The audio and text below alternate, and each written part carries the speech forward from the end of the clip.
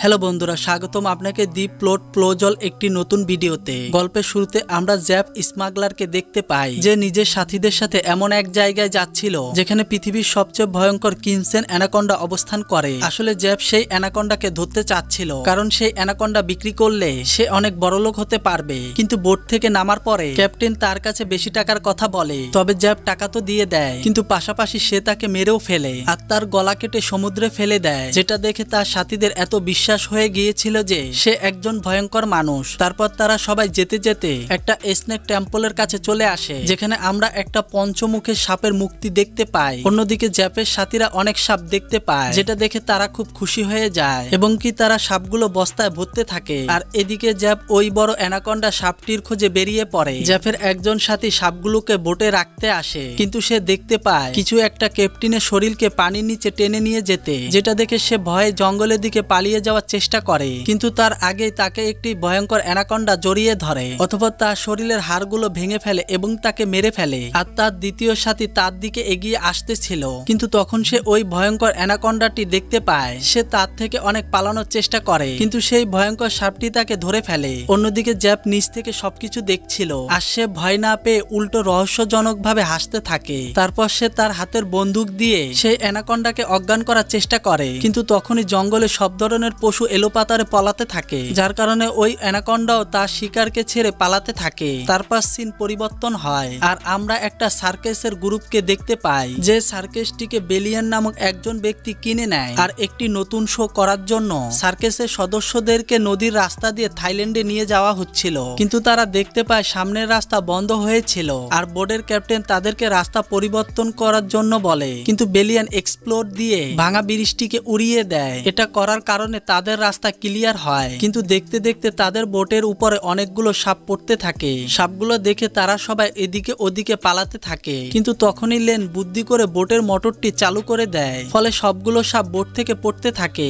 কিন্তু বেলিয়ান ওই সাপগুলোর মাঝখানে ফেসে যায়। যার কারণে সে যান বাঁচাতে নদীতে লাভ দেয় আর সাঁতার কাটতে কাটতে নদীর কিনারায় চলে আসে। কিন্তু কিনারায় আসার পরে তার সামনে একটি কিনকোবরা চলে আসে। সাপটি তাকে সবল দেওয়ার চেষ্টা করে। ঠিক তখনই জ্যাপ সাপটিকে পাড়া দিয়ে ধরে। তারপর বেলিয়ান জ্যাপকে বোর্ডের বাকি সদস্যদের সাথে পরিচয় করিয়ে দেয়। আর জ্যাপ তাদেরকে মিথ্যা পরিচয় দেয়। সে নিজেকে একজন ওয়াইল্ড লাইফ ফটোগ্রাফার হিসেবে। আর একটি দুর্ঘটনার কারণে সে এই জঙ্গলে ফেসে যায়। আর তখনই তাদের সাথে ওয়েনগোর কানে ব্যথা হতে শুরু করে। এটা দেখে জেব তার একটি আঙ্গুল কেটে তার কানের কাছে নিয়ে যায়। আর আমরা দেখতে পাই, একটি ছোট সাপ তার কান থেকে বেরিয়ে এসেছে। জ্যাপ ওই সাপটিকে পানিতে ফেলে দেয়। কিন্তু এই সব কিছু দেখে লেনের তার উপর সন্দেহ হয়। আর সে এই কথাটি বেলিয়ানকেও বলে। কিন্তু বেলিয়ান তার কথায় গুরুত্ব দেয় না। তারপর রাতের বেলায় জ্যাপ চালাকি করে বোর্ডের ক্যাপ্টেনকে মেরে ফেলে আর তাকে নিজের শিকারের জন্য নদীতে ফেলে দেয়। পরের দিন সকালে ক্যাপ্টেনের গুম হয়ে যাওয়াতে সবাই দুশ্চিন্তা করে। কিন্তু তখনই জ্যাপের হুকে কিছু একটা ফেসে যায় আর জ্যাপ তার হুকটিকে টেনে উপরে উঠাতে থাকে। তখনই পানির ভিতর থেকে সেই অ্যানাকন্ডা বেরিয়ে আসে, যেটা দেখে সবাই ভয় পেয়ে যায়। জ্যাপ অ্যানাকন্ডাটির ধরার অনেক চেষ্টা করে আর তখনই ওই অ্যানাকন্ডাটি জ্যাপের উপর হামলা করে। কিন্তু জ্যাপ নিজের যান বাঁচানোর জন্য।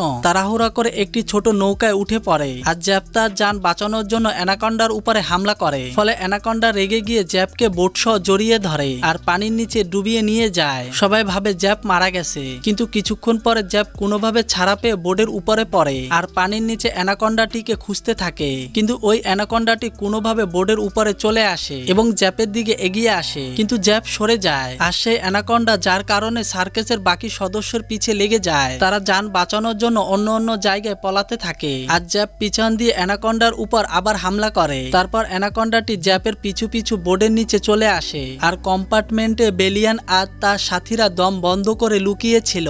এদিকে অ্যানাকন্ডা কাউকে না পেয়ে উপরে চলে আসে। যার কারণে আমরা অ্যানাকন্ডাটিকে পরিষ্কারভাবে দেখতে পাই। পুরো জাহাজের মতো বড় ছিল। সে ধীরে ধীরে ওয়েনগোর কাছে চলে আসে এবং তার উপর হামলা করে দেয়। কিন্তু তারা দুজনে কোনোভাবে সেখান থেকে পালাতে সক্ষম হয়। তারপর অ্যানাকন্ডাটি লেনের উপরে হামলা করে আর লেন পালাতে থাকে। আর তখনই একটা তেলের কন্টেনার পড়ে যায়। কন্টেনার থেকে সবগুলো তেল বেরিয়ে আসে। তারপর আমরা দেখতে পাই, তারা তিনজন পালানোর চেষ্টা করে। আর সেই সময় কোনোভাবে একটি পট অ্যানাকন্ডার মুখে আটকে যায়, যার কারণে অ্যানাকন্ডাটি অনেক ঝটপট করছিল। তারপর কোনোভাবে পটটি ভেঙে অ্যানাকন্ডাটি বেরিয়ে আসে। কিন্তু ততক্ষণে জ্যাব একটি রশি দিয়ে অ্যানাকন্ডার মুখটি বেঁধে ফেলে। জ্যাব সাপটিকে শান্ত করার চেষ্টা করছিল, কিন্তু তখনই বোটে আগুন লেগে যায়। আর একটি বিস্ফোরণ বিস্ফোরণের সাথে সাথে সেই অ্যানাকন্ডা সহ তাদের বোট পুড়ে যায়। বোটটি জ্বলতে দেখে বেলিয়ান কান্না করতে থাকে আর তার বাকি সাথীরা তাকে শান্ত করার চেষ্টা করে। এদিকে ল্যান বুঝতে পারে যে এইসব কিছুর কারণ জ্যাপ ছিল। সে নিজের স্বার্থের জন্য তাদের সবাইকে ব্যবহার করেছে। ল্যান পুরো ঘটনার জন্য জ্যাপকে দায়ী করে, যার কারণে জ্যাপ তাদেরকে অ্যানাকন্ডার আসল দামের কথা বলে। যেটা শুনে বেলিয়ান অবাক হয়ে যায় আর সে সবকিছু ভুলে জ্যাপের সাথে যুক্ত হয়ে যায়। তারপর জ্যাপ তার ম্যাপ দেখে বলে, তোমরা সবাই যদি আমায় সাহায্য করো তাহলে আমি দুই দিনের মধ্যে তোমাদেরকে থাইল্যান্ডে পৌঁছে দিব।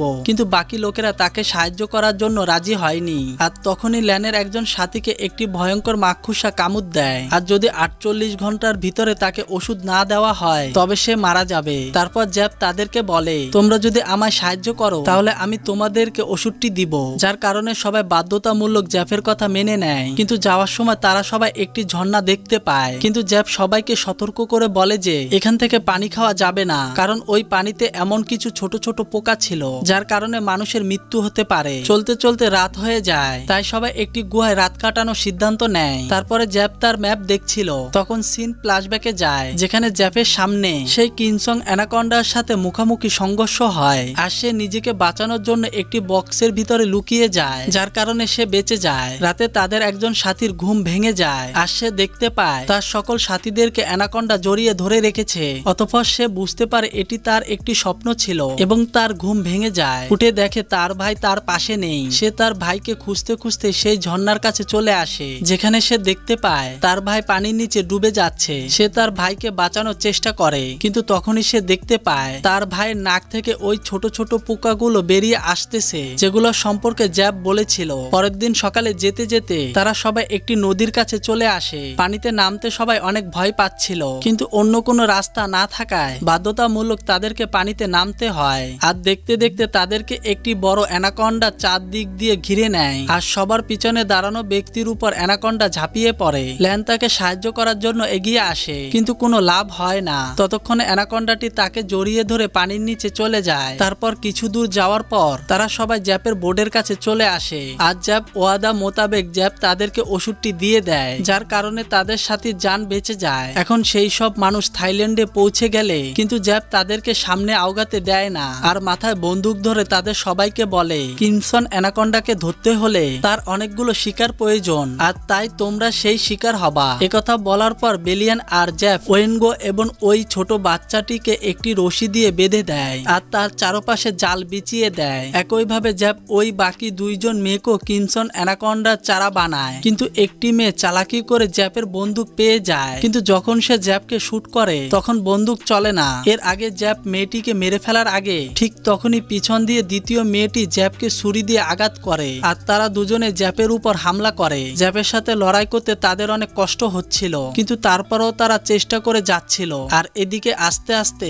একটা বড় অ্যানাকন্ডা ওয়াং এর কাছে চলে আসছিল। আর বেলিয়ান দূর থেকে এগুলা দেখে খুশি হচ্ছিল, কিন্তু সে বুঝতে পারেনি যে তার পিছনেও একটি বড় অ্যানাকন্ডা দাঁড়িয়ে আছে। ঠিক তখনই অ্যানাকন্ডাটি বেলিয়ানকে কামুদ দিয়ে নিয়ে যায়। আর এদিকে জালটি ছিঁড়ে ওয়াং এর গায়ের উপর পড়ে, যার কারণে অ্যানাকন্ডাটি ওয়াংকে খেতে পারে না। আর এদিকে জ্যাপ মেয়ে দুইটিকে মারার অনেক চেষ্টা করছিল। ঠিক তখনই ল্যান একটি লাঠি দিয়ে জ্যাপের মাথার উপর আঘাত করে আর তাকে অজ্ঞান করে ফেলে আর তারা সবাই পালিয়ে যাওয়ার চেষ্টা করে। ঠিক তখনই জ্যাপ ওয়াংকে টেগুলাইজার দিয়ে শুট করে। তারপর জ্যাপ তাদের তিনজনকে বেঁধে দেয় আর চারপাশে একটি কাটিন তার বিছিয়ে দেয়। তারপর দূর থেকে লুকিয়ে অ্যানাকন্ডার উপর নজর রাখছিল। দেখতে দেখতে জঙ্গলের সবগুলো অ্যানাকন্ডা তাদেরকে খেতে চলে আসে। কিন্তু হঠাৎ সবগুলো অ্যানাকন্ডা আবার জঙ্গলের দিকে চলে যেতে লাগে। তবে একটি অ্যানাকন্ডা তাদেরকে খাওয়ার চেষ্টা করে, কিন্তু তবে তার উপর একটি অ্যানাকন্ডা আক্রমণ করে। আর সে অন্য কেউ না, কিনসং অ্যানাকন্ডা ছিল। যার সাইজ অন্য অ্যানাকন্ডার থেকে দশ গুণ বড় ছিল।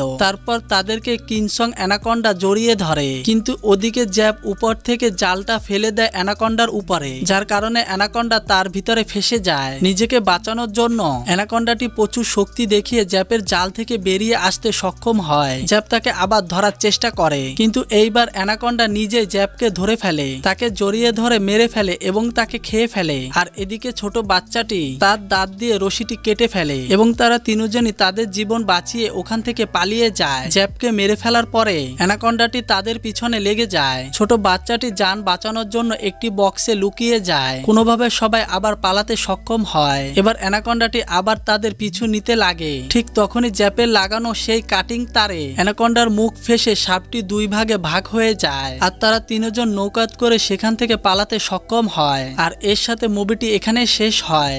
ভিডিওটি যদি ভালো লাগে, ভিডিওতে একটি লাইক করে দিবেন। আর হ্যাঁ চ্যানেলে নতুন হয়ে থাকলে চ্যানেলটি সাবস্ক্রাইব করে বেল আইকনটি টিপে দিবেন। তো পরবর্তী ভিডিওতে দেখা হবে। ততক্ষণ পর্যন্ত ভালো থাকবেন। ধন্যবাদ।